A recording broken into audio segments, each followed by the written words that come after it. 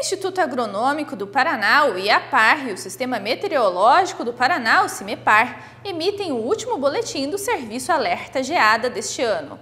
O Alerta Geada estava em operação desde maio, realizando previsões diárias de temperatura e monitorando o risco de ocorrer geadas na região cafeeira do Paraná.